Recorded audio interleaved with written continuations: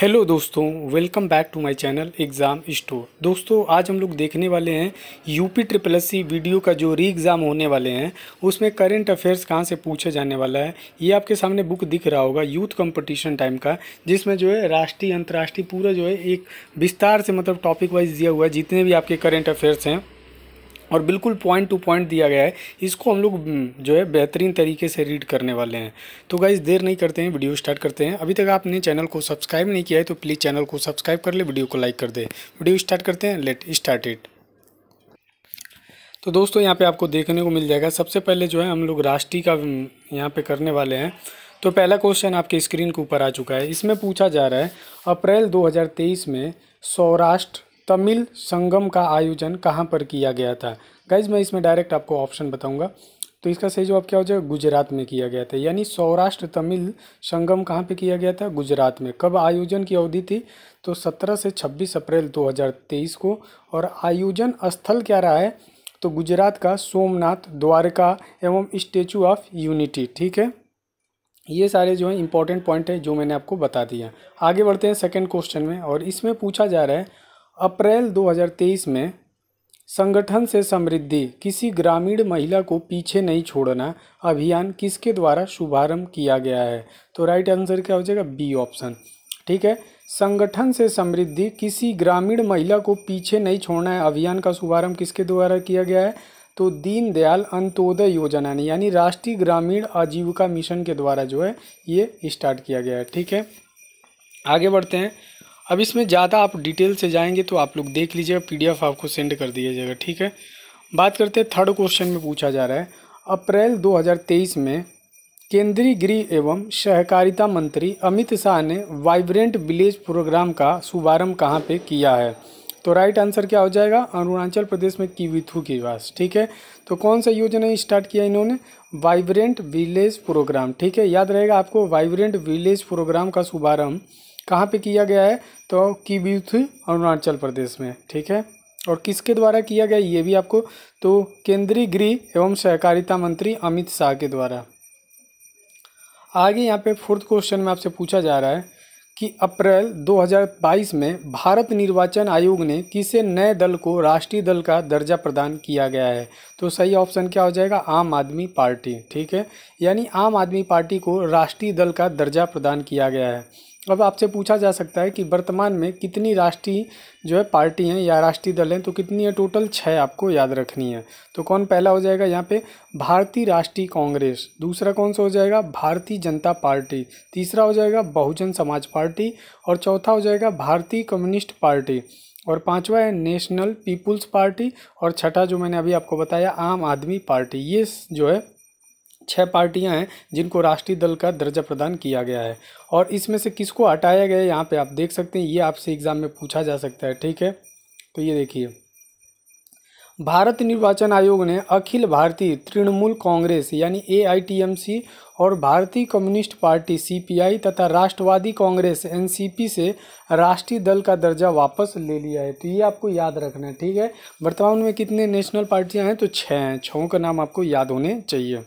आगे बढ़ते हैं फिफ्थ क्वेश्चन में आपसे पूछा जा रहा है।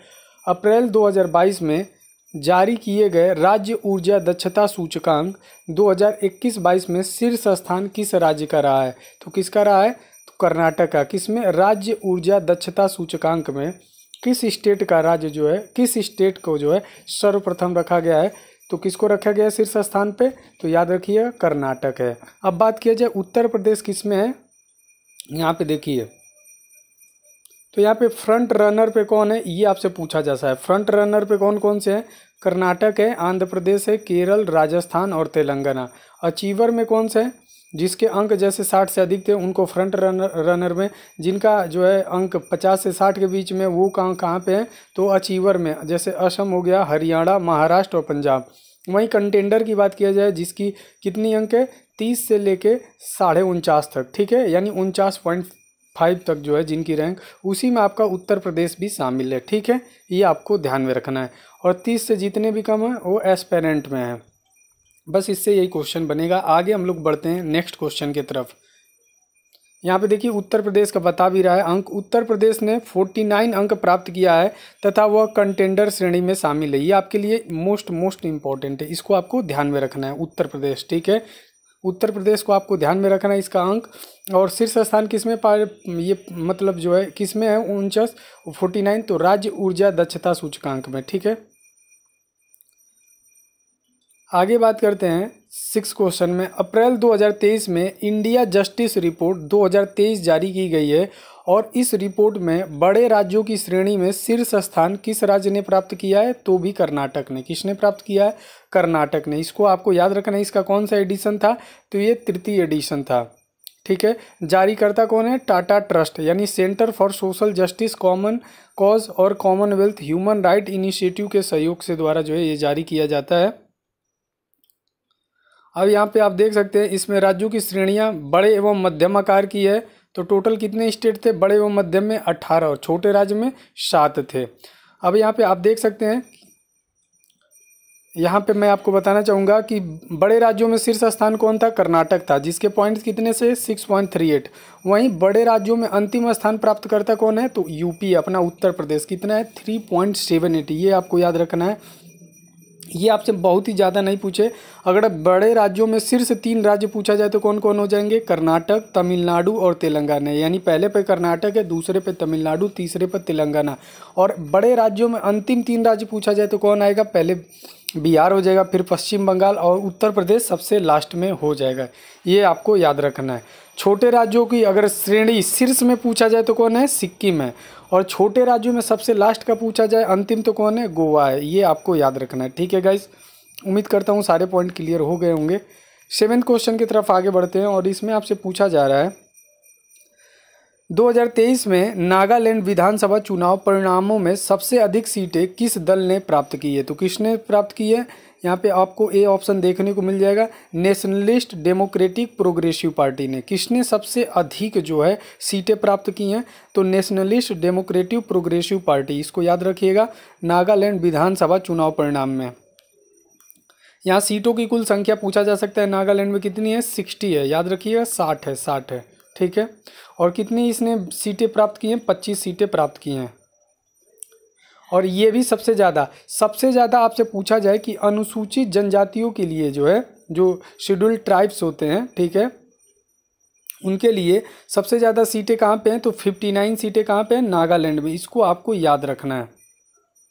आगे हम लोग बढ़ते हैं गाइज़ एट्थ क्वेश्चन में और आपसे पूछा जा रहा है मार्च 2023 में मेघालय राज्य के विधानसभा चुनाव परिणाम जारी किए गए हैं और इस चुनाव में सबसे अधिक सीटें किस दल को प्राप्त हुआ है? तो किसको प्राप्त हुआ है?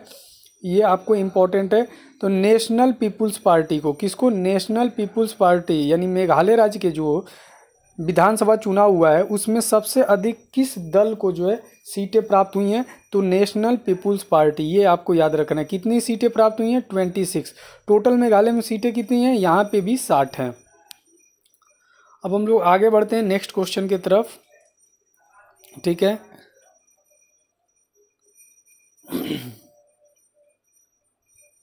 और यहाँ पे देख सकते हैं कौन दूस, जो है वहाँ के मुख्यमंत्री बने हैं तो कौन बने Conrad Sangma.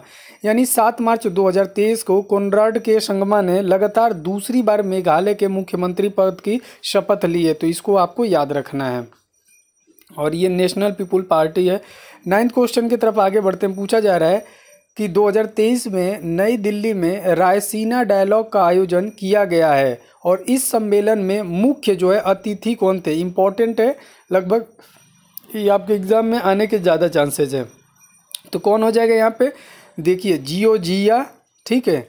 Ji are Jiya, Meloni, कौन है? गाइज़ इसको पढ़ लीजिए। जिया, जिरियो, मेलिनी, ठीक है? मेलोनी है आप सिर्फ़ मेलोनी याद कर लीजिए, मेलोनी। ठीक है? जिया, जिरिया, मेलोनी। जिया, जिरिया, मेलोनी। इसको याद कर लिए जिया, जिरिया, मेलोनी, ठीक है? तो इसका सही जवाब क्या हो जाएगा? B option. किसमें आई थी? रायसेना डायलॉग की आयोजन में। कौन मुख्य अतिथि आया इसको आपको याद रख लेना है, ठीक है? और ये कहाँ पे हुआ था? नई दिल्ली में, ठीक है? इसका कौन सा एडिशन था? आठवां एडिशन था। प्रथम एडिशन कब हुआ था? टू में। इसके, ठीक है? तो इटली की प्रधानमंत्री हैं। कौन? मेलोनी जो है, वो क्या है? इटली की प्रधानमंत्री हैं। याद रखिएगा। टेंथ क्वेश्चन, इसका थीम इंपॉर्टेंट है गाइज़ ये याद करिएगा, क्या है? प्रोवोकेशन अनसर्टेनिटी टर्बुलेंस ठीक है? यानी lighthouse in the Tempest ये इसकी थीम है, इसको एक बार ध्यान रखिएगा। टेंथ क्वेश्चन में आपसे पूछा जा रहा है 2023 में त्रिपुरा विधानसभा के चुनाव परिणाम जारी किए गए हैं और इस विधानसभा चुनाव में भारतीय जनता पार्टी ने कितने सीटें प्राप्त की हैं? त्रिपुरा विधानसभा चुनाव में। तो ये आपको बताना है। तो सही जवाब क्या हो जाएगा? Thirty two. क्या हो जाएगा? Thirty two. ये याद रखिएगा, बत्तीस सीटें जो है प्राप्त की हैं।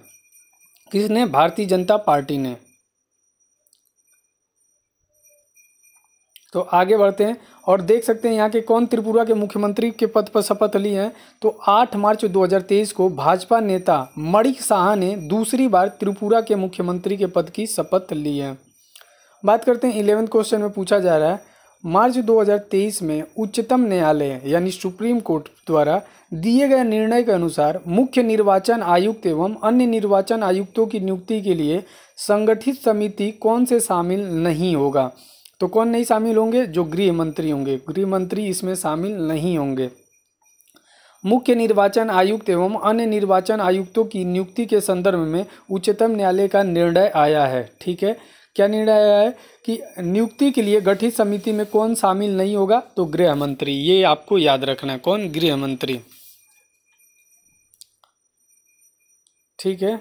ये सब आपको समझ में आ गया होगा। आगे हम लोग बढ़ते हैं। ट्वेल्थ क्वेश्चन में पूछा जा रहा है वेरी वेरी इंपॉर्टेंट है। अगर आप यूपी का एग्ज़ाम देने जा रहे हो तो कि मार्च 2023 में प्रधानमंत्री नरेंद्र मोदी ने कहाँ पर विश्व के सबसे लंबे प्लेटफॉर्म का उद्घाटन किया है? पहले आपका था गोरखपुर, लेकिन अब जो है, ये बदल चुका है। कर्नाटक का हुबली धारवाड़ है। यानी बी ऑप्शन बिल्कुल करेक्ट है, आपको याद रखना है। ठीक है, पहले जो था आपका गोरखपुर था, लेकिन अब जो है, ये उससे भी बड़ा रेलवे स्टेशन कहाँ पे हो गया? है हुबली धारवाड़ में। बी ऑप्शन बिल्कुल करेक्ट है और इसके आने के चांसेस ज़्यादा हैं। तो विश्व के सबसे लंबे प्ले, रेलवे प्लेटफॉर्म का उद्घाटन किसके द्वारा किया गया है? प्रधानमंत्री नरेंद्र मोदी जी के द्वारा और कहाँ पे है? हुबली धारवाड़, कर्नाटक में, ठीक है? स्टेशन प्लेटफॉर्म का नाम क्या है? ये भी आपसे पूछा जा सकता है। जैसे अभी हाल में पीसीएस का एग्ज़ाम हुआ है, उसमें आपसे पूछा गया था कि नाचो नाचो, जो नाटू नाटू सॉन्ग है, उसके संगीतकार कौन है, ठीक है? तो सभी लोगों ने बस उसके डायरेक्टर एस एस राजमौली को जाना तो उसी पर टिक कर दिया तो इसलिए आपको ये भी जाना है कि उसके उद्घाटन करता कौन है और उसके स्थल कहाँ पे है और रेलवे प्लेटफॉर्म का नाम क्या है। तो ये आपको याद रखना है। क्या है? सिद्धरूढ़ा स्वामी जी हुबली स्टेशन, ठीक है? ये है। और प्लेटफॉर्म की लंबाई कितनी है? तो लगभग डेढ़ किलोमीटर। आप लोग इसको पंद्रह मीटर कह सकते हैं या फिर वन किलोमीटर। तो ये आपको याद रखना है और गोरखपुर के रेलवे की लंबाई कितनी है? तो ये लगभग तेरह सौ छाछठ, यानी मतलब एक किलोमीटर तीन सौ मीटर ठीक है? यानी तेरह सौ मीटर है टोटल आप समझ सकते हैं, तेरह सौ छियासठ है। तो इसको आप कह सकते हैं, ये तो विश्व का सबसे पहले लंबा था, लेकिन अब ये दूसरा हो गया। बात करते हैं 2023 में भारत का पहला संविधान साक्षर जिला किसे घोषित किया गया? ये भी इम्पोर्टेंट है। केरल का कोल्लम है। कौन सा है गाइस केरल का कोल्लम जो है, वो क्या है? भारत का पहला संविधान साक्षर जिला घोषित किया गया है। कोल्लम जिला, ठीक है? तो केरल के मुख्यमंत्री कौन है? पीना राय विजयन। कौन है? पीना राय विजयन। भारत का पहला संविधान साक्षर जिला कौन है? केरल का कोल्लम है। याद रखिएगा, ये कोल्लम क्या है? डिस्ट्रिक्ट है। और इसको आपको याद रखना है। नेक्स्ट क्वेश्चन फोर्टीन में आपसे पूछा जा रहा है 2023 में देश का पहला पूर्ण डिजिटल बैंकिंग राज्य किसे घोषित किया गया है? तो ये भी अपना कौन है? केरल है। यानी देश का पहला पूर्ण डिजिटल बैंकिंग राज्य जो है, किस राज्य को घोषित किया गया है? तो केरल राज्य को घोषित किया गया है। आगे बढ़ते हैं। फोर्टीन क्वेश्चन हो चुके हैं फिफ्टीन में। पूछ रहा है, मार्च 2023 में यूरोपीय आयोग ने किस भारतीय उत्पाद को संरक्षित भौगोलिक संकेत पीजीआई का जो है दर्जा प्रदान किया है? तो किसको? कांगड़ा चाय को। किसको गाइस कांगड़ा चाय। भारतीय उत्पाद को यूरोपीय आयोग का संरक्षित भौगोलिक संकेत का दर्जा किसे मिला है? कांगड़ा चाय को। ये आपको याद रखना है, ठीक है? कांगड़ा चाय हिमाचल प्रदेश के कांगड़ा ज़िले में उगाई जाती है। ये आपको याद करना इंपॉर्टेंट पॉइंट क्या है कि कांगड़ा चाय कहाँ पे होती है तो हिमाचल प्रदेश के कांगड़ा ज़िले में उगाई जाती है। सिक्सटीन क्वेश्चन में पूछा जा रहा है थर्टी फ़र्स्ट मार्च 2023 को कुल कितने उत्पादकों को जीआई टैग प्रदान किया गया है? तो ये आपको बताना है। तो कितने को प्रदान किया गया है? तो तैंतीस को। तैंतीस को जो है, उत्पादकों को जो है जीआई टैग प्रदान किया गया है। और ये प्रदानकर्ता कौन होता है? उद्योग, संवर्धन और आंतरिक व्यापार विभाग। अब यहाँ से देखिए, उत्तर प्रदेश में किस किस को जो है जीआई टैग प्राप्त हुआ है, ये आपको साथ में याद भी रखना है। जैसे कि बनारस पान, कौन सा हो गया? बनारसी पान आप लोगों ने सुना होगा, खई के पान बनारस वाला। जो जो पान खाते हैं, एक बार कमेंट बॉक्स में ज़रूर बताइएगा कि कैसा लगता है आपको। रामनगर का भंटा जो है, हम लोग के यहाँ भंटा भी बोला जाता है, इसी को बैगन भी बोलते हैं, ठीक है? तो रामनगर भंटा नहीं कहते हैं इसका आँख एकदम भंटा जैसा है। तो रामनगर भंटा हो गया। बनारस का लंगड़ा आम, कौन सा हो गया? बनारस का लंगड़ा आम और हाथरस का हींग है। क्या है? हाथरस का हींग है। आदम चीनी चावल, इसको भी जीआई टैग। और अलीगढ़ किसके लिए? ताला के लिए जो इसको जीआई टैग। और प्रतापगढ़ का आंवला हो गया। नगीना लकड़ी का शिल्प हो गया। और बखीरा के पीतल के बर्तन। कहाँ के? बखीरा के पीतल के बर्तन और बांदा का सजर पत्थर शिल्प। ये जो है, यूपी के हैं, इसको तो आपको हंड्रेड परसेंट लर्न होना चाहिए कि किसको किसको जो है जीआई टैग प्राप्त किया गया है और टोटल कितने को? थर्टी थ्री को जो है जीआई टैग प्रदान किया गया है। अब वहीं बात किया जाए बिहार का तो मरचा चावल। देख सकते हैं ना, मरचा और चावल, यही मरचा चावल जो है बिहार का, इसको जीआई टैग दिया गया है। और मध्य प्रदेश की बात किया जाए तो रीवा का सुंदरजा आम, ठीक है? रीवा का सुंदरजा आम। तो उत्तर प्रदेश में टोटल कितने हो जा रहे हैं? दोस्त, ये भी याद रखिएगा, दस। दस को जो है जीआई टैग प्रदान किया गया है। आगे बात करते हैं हम लोग लद्दाख में। तो लद्दाख का कौन है? लकड़ी की नक्काशी के लिए। और छत्तीसगढ़ में कौन से है? नागरी दुबराज चावल को। और तमिलनाडु में फिर छः को मिला गया है। इसको आपको ज़्यादा देखने की ज़रूरत नहीं अगर आपको याद है तो अच्छी बात है। क्योंकि आप एक ह्यूमन है रोबोट तो है नहीं कि सारा चीज़ याद कर सकते हैं। सॉरी जो है यहाँ पे जिस, जो हम बात करें तमिलनाडु को छः ही नहीं दिया गया है, ग्यारह यहाँ, लगभग ग्यारह दिया गया है। उत्तर प्रदेश में भी दस ही थे, यहाँ पे ग्यारह है, ठीक है? जम्मू कश्मीर का भी देख लीजिए। महत्वपूर्ण तत्व क्या है? इसको आपको ध्यान में रखना है। भारत में जीआई टैग पंजीकरण यानी रजिस्ट्रेशन का विनिमय वस्तुओं के भौगोलिक संकेतक अधिनियम 1999 के तहत किया जाता है, ठीक है? इसको आपको याद रखना है। क्वेश्चन पूछ रहा है 2023 में क्षेत्रीय भाषा में निर्णय प्रकाशित करने वाला देश का पहला उच्च न्यायालय कौन सा है? तो ये भी कौन सा है? केरल है। केरल उच्च न्यायालय। इंपॉर्टेंट है केरल तो हमेशा आपके लिए समझ सकते हैं कि क्षेत्रीय भाषा, जो वहाँ का लोकल लैंग्वेज उसमें क्षेत्रीय भाषा में निर्णय प्रकाशित करने वाला देश का पहला उच्च न्यायालय कौन है? तो केरल है। कौन है? केरल। ठीक है? तो इसको आपको याद रखना केरल की क्षेत्रीय भाषा क्या है? मलयालम है। क्या है? मलयालम। इसको आपको याद रखना है, केरल की क्षेत्रीय भाषा है मलयालम मलयालम। एटीन क्वेश्चन की तरफ़ आगे बढ़ते हैं, और भारत के मुख्य न्यायाधीश कौन है, ये आपको तो पहले से ही पता होगा कौन है, डी वाई चंद्रचूड़। ठीक है, D Y Chandrachud. Eighteen question में पूछा जा रहा है 2023 में कौन सा जिला 5G तकनीकी लागू करने वाला देश का पहला आकांक्षी जिला बन गया है? तो कौन सा है गाइज़ विदिशा। विदिशा कहाँ पे मध्य प्रदेश में। तो इसको आपको याद रखना है फाइव जी तकनीकी लागू करने वाला देश का पहला आकांक्षी जिला कौन है? विदिशा। ये आपके लिए बहुत ही ज़्यादा इम्पोर्टेंट है।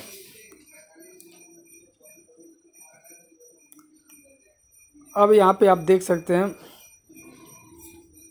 उत्तर प्रदेश के कुल कितने ज़िले शामिल हैं? ये आपके लिए ज़्यादा इंपॉर्टेंट है। उत्तर प्रदेश के कुल आठ आकांक्षी ज़िले हैं। जिनमें कौन कौन से हो जाएगा? बहराइच, बलरामपुर, चंदौली, चित्रकूट, फतेहपुर, श्रावस्ती, सिद्धार्थनगर और सोनभद्र क्या हैं? इसमें शामिल हैं। नाइनटीन क्वेश्चन में पूछा जा रहा है, जनवरी 2023 में कौन सा जिला अपने सभी जनजाति लोगों को बुनियादी दस्तावेज़ प्रदान करने वाला देश का पहला जिला बन गया है? तो कौन सा हो जाएगा? केरल का वायनाड। कौन सा हो जाएगा? केरल का वायनाड। सभी जनजाति लोगों को बुनियादी दस्तावेज़ प्रदान करने वाला देश का पहला जिला कौन सा हो जाएगा? तो ये भी याद रखिएगा, केरल का वायनाड, ठीक है? ये भी आपके लिए इम्पोर्टेंट है। क्या क्या प्रदान किए गए हैं? तो यहाँ पे आप देखिएगा इस आधार कार्ड, राशन कार्ड, चुनाव पहचान पत्र, जन्म प्रमाण पत्र, मृत्यु प्रमाण पत्र, बैंक खाता, स्वास्थ्य बीमा आदि। ट्वेंटी क्वेश्चन पूछ रहे हैं 2023 में छब्बीसवें राष्ट्रीय युवा महोत्सव का आयोजन कहाँ पे किया गया है? तो वही कर्नाटक हुबली, जो सबसे बड़ा लंबा प्लेटफॉर्म है, उसको भी याद रखिएगा। तो राष्ट्रीय युवा महोत्सव 2023 कहाँ पे आयोजन किया गया है? कर्नाटक हुबली में। कहाँ पे? कर्नाटक हुबली में। उद्घाटनकर्ता कौन है? तो भारत के प्रधानमंत्री नरेंद्र मोदी जी हैं। और ये देखिए, स्वामी विवेकानंद की जयंती पे ये जो है राष्ट्रीय युवा दिवस किया गया है। आगे हम लोग ट्वेंटी वन में बात करते हैं। किस देश के राष्ट्रपति को गणतंत्र दिवस समारोह 2023 के अवसर पर मुख्य अतिथि के रूप में आमंत्रित किया गया था? वेरी वेरी इंपॉर्टेंट क्वेश्चन है गाइस जिसके आने के चांसेस ज़्यादा हैं। तो किस देश के जो है मुख्य अतिथि के रूप में हम लोगों ने आमंत्रित किया था? तो मिस्र के। याद रखिएगा, मिस्र के, ठीक है? जिसको इजिप्ट आप लोग बोलते हैं, उनके प्रेसिडेंट को जो है हम लोग रिपब्लिक डे यानी गणतंत्र दिवस समारोह पे मुख्य, यानी चीफ गेस्ट के रूप में आमंत्रित किए थे। किसको? मिस्र के राष्ट्रपति को। और इनका नाम क्या है? तो अब्देल फ़तेह अल सीसी क्या नाम है? अब्देल फ़तेह अल सीसी ठीक है, इसको आपको याद रखना है, जो कि हम लोग गणतंत्र दिवस समारोह में मुख्य चीफ गेस्ट के रूप में जो है, इनको हम लोग आमंत्रित किए थे। अब यहाँ पे अगर आपसे और पीछे पूछे तो आप लोग और पीछे भी जा सकते हैं, लेकिन बस इतना बहुत है, मुख्य अतिथि आपसे पूछा जाएगा। बाकी यहाँ 2022 में देखेंगे तो इसके में दिखाया है। 2020 में गणतंत्र ब्राज़ील के राष्ट्रपति जार बोलसेनारो को बुलाया गया था। ठीक है? बाईसवें क्वेश्चन की तरफ़ आगे बढ़ते हैं। इसमें आपसे पूछा जा रहा है 2023 में प्रधानमंत्री नरेंद्र मोदी ने कहाँ पर विश्व के सबसे लंबे river cruise MV Ganga Vilas को झंडी दिखाकर रवाना किया है? तो कहाँ पे? वाराणसी। कहाँ पे भाई? वाराणसी। याद रखिएगा, विश्व का सबसे लंबा river cruise MV Ganga Vilas जो है कहाँ से हरी झंडी दिखाकर जो है रवाना किया गया है? तो ये कहाँ से किया गया है? वाराणसी से। याद रखिएगा। और ये प्रधानमंत्री ने कैसे इसको किया है? वीडियो कॉन्फ्रेंस के माध्यम से, ठीक है? यात्रा जो है, कहाँ पे ये प्रारंभ हुआ है तो वाराणसी में। और ये यात्रा समाप्ति कहाँ पे होगी तो असम के डिग्रूगढ़ जो है, बोगीबिल वहाँ पे जो है, ये यात्रा समाप्त होगी। यात्रा की अवधि कितने दिन रहेगी? Fifty one days. इसको आपको याद रखना है। टोटल डिस्टेंस कितनी होगी? तो बत्तीस सौ किलोमीटर। कितनी? बत्तीस सौ किलोमीटर। और इसमें कितने अधिक पर्यटक, अधिक से अधिक जा सकते हैं? Thirty six. याद रखिए, सिक्स का स्क्वायर है। आगे हम लोग बात करते हैं ट्वेंटी थ्री क्वेश्चन में। पूछा जा रहा है 2023 में प्रवासी भारतीय दिवस सम्मेलन का आयोजन कहाँ पे किया गया है? तो इंदौर में। कहाँ पे? जो सबसे स्वच्छ सिटी है इंदौर, उसको याद रखिएगा कि प्रवासी भारतीय दिवस सम्मेलन आयोजन कहाँ पे किया गया है? तो सत्रहवा प्रवासी भारतीय दिवस सम्मेलन जो है इंदौर में किया गया है। कहाँ पे? इंदौर में, जो कि मध्य प्रदेश में है, ठीक है? इसकी थीम क्या है, ये आपको याद रखना है। तो diaspora reliable partnership of India progress in Amritkaal यानी अमृतकाल में भारत की प्रगति के विश्वसनीय भागीदार। इसके आयोजनकर्ता कौन है? तो विदेश मंत्रालय, भारत सरकार एवं मध्य प्रदेश सरकार। इसको आपको याद रखना है फॉरेन मिनिस्टर और जो इंडियन गवर्नमेंट और मध्य प्रदेश की जो सरकार है, उनके द्वारा जो इसको आयोजन किया गया है। और इसके चीफ गेस्ट कौन थे? तो यहाँ याद रखिए, जो गुयना के राष्ट्रपति थे मोहम्मद इरफान अली। कौन थे? गुयना के राष्ट्रपति थे मोहम्मद इरफान अली। वो जो थे चीफ गेस्ट के रूप में आए थे। अब नेक्स्ट क्वेश्चन बात किया जाए। और प्रवासी भारतीय दिवस हम लोग कब मनाते हैं? तो ये याद रखिए 9 जनवरी दो, उन्नीस को जो है, महात्मा गांधी दक्षिण अफ्रीका से भारत आए थे और इसी दिन को चिन्हित करने के लिए वर्ष 2023 से प्रवासी भारतीय दिवस सम्मेलन की शुरुआत की गई है। ठीक है, इसको आपको याद रखना है। और पहला प्रवासी भारतीय दिवस कहाँ पे मनाया गया था? तो दिल्ली में आयोजित किया गया था। और इसमें एक बार और बता दें कि पहले ये प्रतिवर्ष दो वर्ष में एक बार आ जाए यानी दो साल पे एक बार किया जाता था। ठीक है, लेकिन 2015 से इसे संशोधित कर दिया गया है। भारतीय दिवस सम्मेलन प्रति दो वर्ष में एक बार आयोजित किया जाता पहले हर साल किया जाता था, लेकिन अब 2015 से इसको दो वर्ष में एक बार जो है आयोजित किया जाएगा, ठीक है? 24 में पूछा जा रहा है 2023 के केंद्रीय मंत्रिमंडल ने राष्ट्रीय हरित हाइड्रोजन मिशन, क्या है? नेशनल ग्रीन हाइड्रोजन मिशन को मंजूरी प्रदान की है और इसमें संबंधित निम्न कथनों पर आपको विचार करना है। तो क्या है राष्ट्रीय हरित हाइड्रोजन मिशन? अब आइए देखते हैं। ये सारे पॉइंट दिए हैं।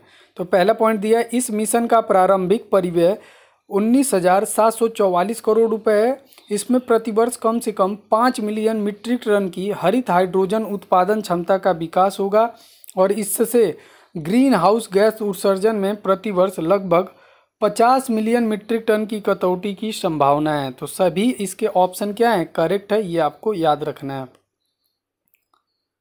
ठीक है? आगे चलते हैं। इसके महत्वपूर्ण पॉइंट क्या है, ये आपको याद रख लीजिए मिशन के महत्वपूर्ण हरित हाइड्रोजन संक्रमण कार्यक्रम के लिए रणनीतिक हस्तक्षेप साइट है, यानी strategic intervention for green hydrogen transition programme इसके अंतर्गत दो वित्तीय प्रोत्साहन बनाए गए, एक इलेक्ट्रोलाइजर का घरेलू विनिर्माण, दूसरा है हरित हाइड्रोजन का उत्पादन। अब ग्रीन हाइड्रोजन हब क्या होता है, ये आप लोग पढ़ लीजिए। नीतिगत जो है नीतिगत ढांचा क्या होता है, इसके बारे में आपको बताया गया होगा। ट्वेंटी फिफ्थ क्वेश्चन में हम लोग बात करते हैं, पूछा जा रहा है जनवरी 2023 में अखिल भारतीय पीठासीन अधिकारियों का तिरासीवा सम्मेलन कहाँ पे आयोजित किया गया है? तो कहाँ पे? जयपुर में। कहाँ पे किया गया है? तो इसको आपको बस याद रखना है कि तिरासीवा अखिल भारतीय पीठासीन अधिकारी का सम्मेलन कहाँ पे किया गया है? जयपुर में किया गया है। और इसके उद्घाटनकर्ता कौन थे? तो भारत के वाइस प्रेसिडेंट यानी जगदीप धनखड़ थे। कौन थे? जगदीप धनखड़। ट्वेंटी सिक्स में आपसे पूछा जा रहा है